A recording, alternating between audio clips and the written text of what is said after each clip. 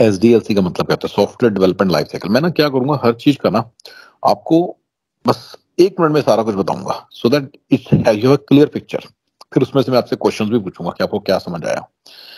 सबसे पहले क्या होता है? एक बिज़नेस है। सेल्स हो रही है सर्विस हो रही है, दे रहे हैं ऑर्डर फुलफिलमेंट हो रही है राइट अमेजोन के ऊपर जो वेबसाइट बनी हुई है। सबसे पहले जो बिज़नेस है ना, वो कहता है मेरे को सेल्स को ऑटोमेट करने के लिए सॉफ्टवेयर चाहिए।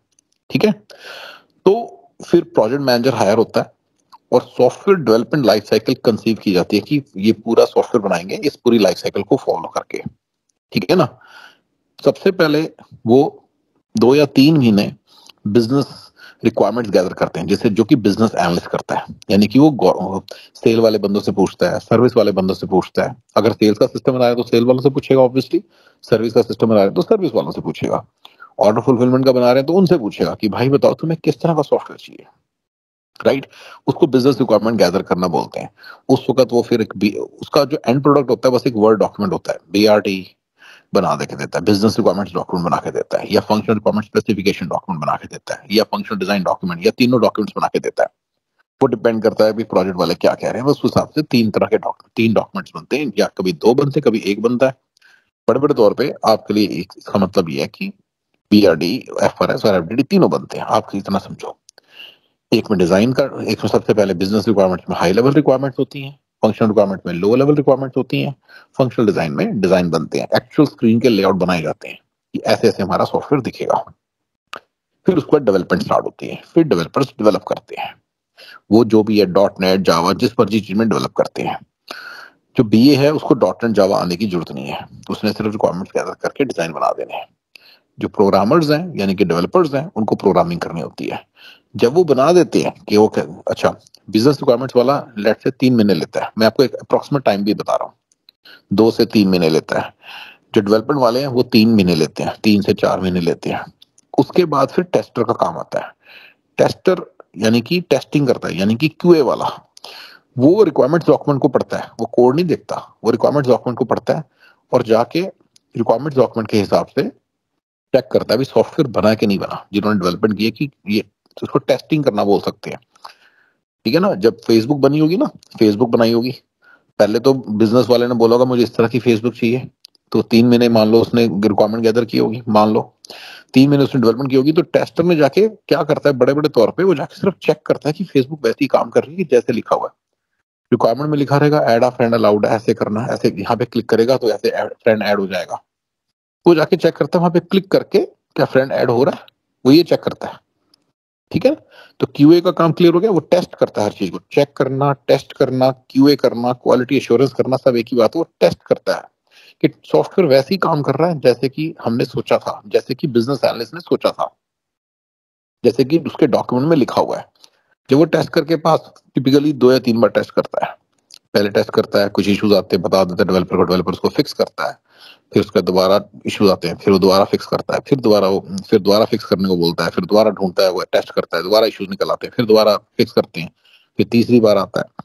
तो ऐसे करके दो या तीन बार में सारे इश्यूज़ निकल आते हैं। सारे बग्स कह लो इश्यूज़ कह लो एरर्स कह लो डिफेक्ट्स कह लो, सारे निकल आते हैं। टेस्टर उसको बता देता है डेवलपर को डेवलपर्स उसको फिक्स कर देते हैं एंड उसके बाद वो सॉफ्टवेयर में आ जाता है, सब फिक्स होके आ जाता है सॉफ्टवेयर फिक्स हो जाता है कंप्लीटली जब वो सॉफ्टवेयर फिक्स हो जाता है, उसको रोल आउट कर देते हैं। ठीक है ना? तो आपको यहाँ पे चारों रोल्स का काम समझ आ गया। प्रोजेक्ट मैनेजर ये पूरा एक साल तक जो भी एकदम, फिर इसके बाद तीन चार महीने लगा के उसको सॉफ्टवेयर को रोल आउट होता है। दो तीन महीने टेस्टिंग चलती है। हर चीज़ तीन चार तीन चार महीने चल रही है। बड़े बड़े तौर पर टेस्टिंग कोई डेढ़ एक महीना चलती है। ठीक है? आपको समझ में आ गया सारे रोल्स इसके अंदर एक और है, जब टेस्टर टेस्ट कर लेता ना, उसके बाद ना, जिन्होंने यूज़ करना होता है ना सिस्टम जिन्होंने शुरू में बिज़नेस रिक्वायरमेंट्स दी थी वो जाके एक बार यूज़ करके देखते हैं कि कैसा चल रहा है। यानी कि यूज़र जो है, वो यूएटी यूज़र एक्सेप्टेंस टेस्टिंग करते हैं। तो क्योंकि आपको यूएटी की रिक्वायरमेंट्स आ सकती है तो इसलिए मैंने वो बता दिया। एक डेढ़ महीना वो भी चलती है। Before after testing before roll out after UAT passes the thing user कहते हैं, हमें पसंद आ गया। उस वक्त यही होता है, कोई इशू नज़र आता है, वो बताते हैं, वो फिक्स होता है। डेवलपर फिक्स करता है, वापस आ जाता है, फिर वो दोबारा चेक करते हैं, ऐसे होता है। फ़र्क ये कि वो यूज़र्स करते हैं क्यूए जो है, वो टेस्टर प्रोफेशनल टेस्टर करते हैं। प्रोफेशनल टेस्ट मतलब कि बाहर का बंदा आता है, जिसका काम सिर्फ़ टेस्टिंग करना है, जिसको आता है टेस्टिंग करना। ठीक है ना? अब यूएटी जो है, वो प्रोफेशनल टेस्ट नहीं करने वो घर के ही बंदे जिन्होंने यूज़ करना होता है, वो यूज़र्स करते हैं। सेल्स के बंदे सर्विस के बंदे करते हैं ऑर्डर फुलफिलमेंट वाले करते हैं, वो लोग करते हैं टेस्ट जब वो टेस्ट करके फाइनल कर देते हैं, फिर वो रोल आउट हो जाती है, जैसे मैंने बताया आपको। ठीक है ना? जनवरी, फरवरी, मार्च में आपके माइंड में पिक्चर बनाए, जनवरी, फरवरी, मार्च में बिज़नेस रिक्वायरमेंट्स गैदर हुई। अप्रैल में, जून में डेवलपमेंट हुई, जून, जुलाई में डेवलपमेंट हुई, अगस्त, सितंबर में टेस्टिंग हुई, अक्टूबर में यूएटी हुई और दिसंबर में रोल आउट हो गया। नवंबर में प्रिपरेशन की रोल आउट की और दिसंबर में रोल आउट कर दिया। एक साल तक ऐसे काम चलता है बड़े बड़े तौर पे। ये अपने माइंड में पिक्चर बना लो, कई लोगों के दिमाग में आता है स्पेशली इंडिया में जो बंदे बैठे हैं, पाकिस्तान में बैठे हैं कहते हैं, लगता है जनवरी फ़र्स्ट को रिक्वायरमेंट गैदर होती है जनवरी सेकंड को रिक्वायरमेंट डेवलपमेंट होती है जनवरी थर्ड को टेस्टिंग हो जाती है जनवरी फोर्थ को रोल आउट हो जाता है। हमारी कंपनी में यही चीज़, जैसे टास्क मैनेजमेंट का सिस्टम बनाया था, मैं और नेक्स्ट सर बैठे बैठे बना देते हैं। जनवरी फ़र्स्ट के अंदर ही हो जाता है सारा कुछ। पहले दिन, पहले घंटे में बात करते हैं, ये रिक्वायरमेंट है हमारी। दूसरे घंटे में उसको कन्फिगर कर देते हैं। तीसरे घंटे में उसको टेस्ट करते हैं, काम कर रहा है कि नहीं कर रहा, चौथे चौथे में उसकी विजिबिलिटी इंक्रीज कर देते हैं, सबको उसके रोल आउट कर देते हैं राइट अब ये हो गया, ये आपका बिगेस्ट फ्रेमवर्क है जिसमें आपकी हर चीज़ डलेगी। मतलब बिगेस्ट फ्रेम ऑफ़ रेफरेंस है। फ्रेमवर्क नहीं फ्रेम ऑफ़ रेफरेंस है। जहाँ पे आपको हमेशा एसडीएलसी याद रखनी बच्चों। एसडीएलसी के अंदर आपको सारा पता चल जाएगा। ठीक है? अब आता है थोड़ा सा हर एक अब मैं क्यूए के डिटेल में हमारा क्वेश्चन क्यूए ऑटोमेशन फ्रेमवर्क पे है। जब सॉफ्टवेयर बन के आता है ना टेस्टर के पास, मैंने बताया वो टेस्ट करता है। क्यूए करना टेस्ट करना, उसको चेक करना बड़े बड़े तौर पे टेस्टिंग क्या है? अगर आईफोन बनाने आईफोन के लिए वो टेस्टर हायर करते हैं, उसको सेवेंटी डॉलर एन आवर की सैलरी देते हैं। पता वो क्या करता है? आईफोन आईफोन का टेस्टर क्या टेस्ट करेगा बताइए? फ़ोन का नंबर वन ऑपरेशन क्या? कॉल करते हैं कॉल रिसीव करते हैं। ये दो ऑपरेशन है मेन एसएमएस करते हैं एसएमएस रिसीव करते हैं। फ़ोटो खींचते हैं आजकल। ये भी एक ऑपरेशन हमारा। Right tester yes. कुछ नहीं करता। फ़ोन उठाता है कॉल करके चेक करता है। सत्तर डॉलर आवर रेडी है जी। चार दिन तक यही करता रहता है। उससे पूछा जाता है मैं आपको पूरा पिक्चर बता रहा हूँ ताकि आपको क्लियर हो। आपको कई बार लगेगा ये नहीं कर रहा हो सकता इतना सिंपल सा काम है। टेस्टर ये नहीं कर रहा हो सकता। टेस्टर ज़रूर कोई ऐसा काम करता होगा जिसके लिए सत्तर डॉलर आवर किस बात से दे रहा है? सिर्फ़ ये टेस्ट करने को ही टेस्टर कहते हैं। फेसबुक का पेज फेसबुक डॉट कॉम पे गया, जाके अपना साइन अप किया प्रोफ़ाइल बनाई। ये फंक्शनलिटी चेक करने में उसको पूरे दो साल लगते हैं। वो दो साल तक सत्तर डॉलर आवर की बिलिंग करता है। यही अमेरिका है। मैंने आपको एक पिक्चर देने की कोशिश की, एक टेस्टर का काम क्या है। तभी कोई भी बंदा अमेरिका में आता है, वो आराम से टेस्टर बन सकता है। दसवीं फेल बच्चा भी जो ना, पाकिस्तान, इंडिया का, वो भी बन सकता है। वो भी बन सकता है टेस्टर। बहुत आसान काम है। ठीक है ना? क्लियर हो गया? टेस्टर करता क्या है? सारी फ़ंक्शंस चेक करता है। उसको फंक्शनल टेस्टिंग बोलते हैं। फ़ंक्शन का मतलब होता है ऑपरेशन क्या क्या करने होते हैं। सबसे बड़ा टीवी का ऑपरेशन क्या है? सबसे बड़ा टीवी का ऑपरेशन क्या है? उसमें उसको ऑन करके जब करो चैनल पे जाओ तो उसमें से प्रोग्राम आता है। उसमें मूवी दिखती है। सबसे बड़ा ऑपरेशन यही है ना? राइट टॉम सर यही टेबल का सबसे बड़ा ऑपरेशन क्या है? अगर फोल्डिंग टेबल है तो वो अनफोल्ड हो जाती है उस पर खड़ी हो जाती है उसके ऊपर सामान रखो तो टूटती नहीं है। यही है ना? बस इतना ही फ़ंक्शन है ना? तो फंक्शनली चेक yes. करके चेक कर वो फंक्शनल टेस्टिंग को यही होता है चेक टेस्ट करता है भी चीज़ कैसे काम कर रही है। जैसे इसको सोचा गया था वैसे काम कर रही है जो जो काम सोचा था। आईफोन में मैंने आपके लिए थोड़ा सा सिंपल बोला लेकिन there are two hundred thousand function जो आजकल हैं आईफोन में। लेकिन चलो कोई बात नहीं डजेंट मैटर वो सारे टू हंड्रेड थाउज़ेंड की लिस्ट बनाता है फिर वो, ये फ़र्क है बस। कॉम्प्रिहेंसिव काम करता है। सारे फ़ोन जैसे फ़ोन कॉल है, वो देखता है कॉल भी चार जगह से हो जाती है व्हाट्सएप से भी व्हाट्सएप से कॉल हो जाती है स्काई से भी कॉल होती है। चलो आईफोन की बात करें कॉल जो कई बार कॉन्टेक्ट के डेटा में जाके वहाँ से बटन वहाँ से प्रेस हो जाता है नंबर डायल करके भी कॉल सारे सिनेरियोस बनाता है, सारी चीज़ें टेस्ट करता है वो। और जो उधर जो बिज़नेस बिज़नेस एनालिस्ट है ना, जिसने बिज़नेस रिक्वायरमेंट्स गैदर की थी फ़र्स्ट थ्री मंथ्स में, वो भी ऐसे कॉम्प्रिहेंसिवली हर चीज़ की रिक्वायरमेंट गैदर करता है। वो पूछता है कि तुम्हें ऐसे चाहिए कि यहाँ पे बटन चाहिए, जहाँ पे कॉन्टेक्ट आइकट है, वहाँ पे चाहिए। वो ऐसे फंक्शनल हर चीज़ बनाता है और डिज़ाइन बनाता है। स्क्रीन का डिज़ाइन बना बना डालता है कि ऐसे लगेगा। This is how it will look like ठीक है? ये मैंने आपको बताया कि बिज़नेस एनालिस्ट क्या करता है as part of functional design tester क्या करता है as part of functional testing अब आपको सर, सारा काम तो डेवलपर करता हो तो बचाता बनाते बनाते मर जाता होगा। राइट उसको भी सत्तर डॉलर ही मिलते हैं। सबको सेम प्राइस मिलता है। टेस्टर को साठ मिलते हैं बीए को सत्तर मिल जाते हैं डेवलपर को सत्तर मिल जाते हैं। सबके सेम सही नंबर होते हैं। मतलब ऐसा नहीं है कि यहाँ पे और फिर उसको टेस्ट टेस्ट टेक्स्ट बुक काट के उतने से पैसे बनते हैं सबके, अमेरिका में। चलिए, वो सब छोड़ दो। राइट तो टेस्टर ये करता है। बड़े बड़े तौर पे आपको टेस्ट ठीक है ना? टेस्टिंग दो तरह की होती है। मेनली चलिए। ठीक है? Manual okay functional testing performance testing ये दो मेन याद रखिए। और भी थ्री टेस्टिंग होती है, पर ये दो मेन है। फंक्शनल मैंने बता दिया चेक करता है कि चेयर के ऊपर बैठो तो बैठ सकता है कि नहीं। परफॉर्मेंस होती है, कितना ज़्यादा वज़न बैठ हो सकता है। ठीक है?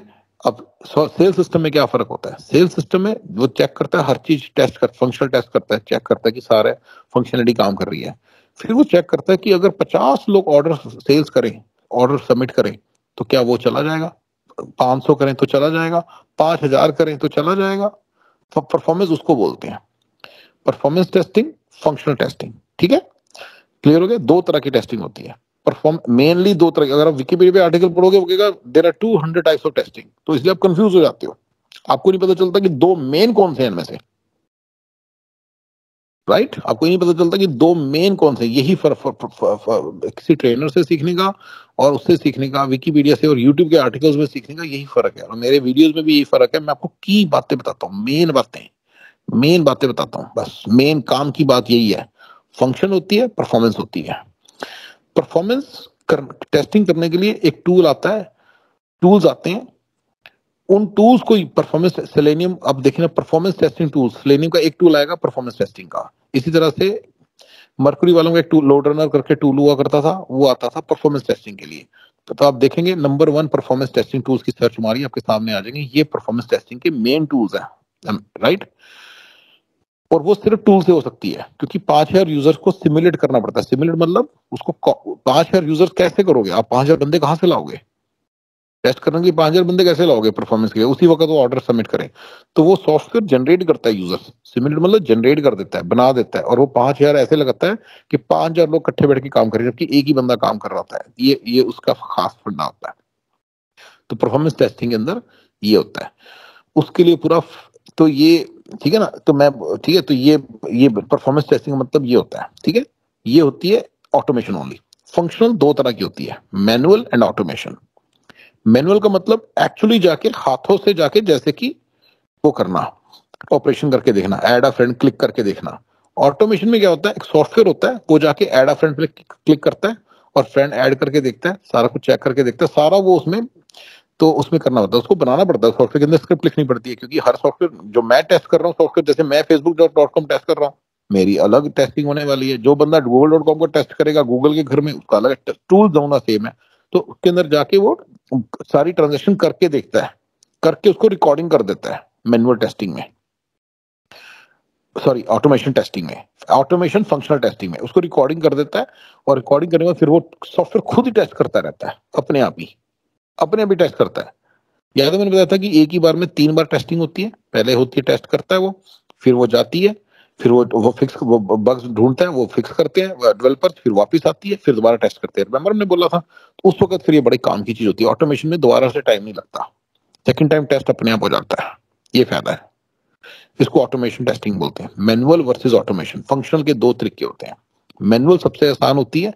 अगर कोई बंदा बोले ना मैनुअल है दैट मीन इसका मतलब ये है कि बस वो गधा है। क्योंकि गधा भी कर सकता है। मैनुअल टेस्टिंग पांचवी का बच्चा फेल बच्चा भी कर सकता है। मैनुअल टेस्टिंग इतनी आसान होती है। ठीक है ना?